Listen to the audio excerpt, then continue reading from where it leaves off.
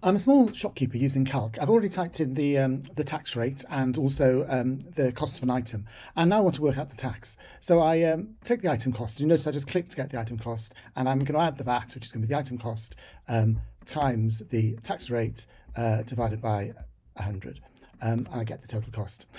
Only suddenly I realised I actually typed the the uh, the cost of the item wrong. He's isn't eleven pounds fifty seven; it's fifteen pounds seventeen. So, but happily I can I can edit it. So I put fifteen pounds 17 instead. And you notice it updated my calculation just like a little spreadsheet. Um, and um, if I do this multiple times, perhaps I make a copy of this and I reuse it, I might decide it'd be useful to name the items. So I'm going to actually just name that first one VAT rate. And you notice in the calculation, it changes to say VAT.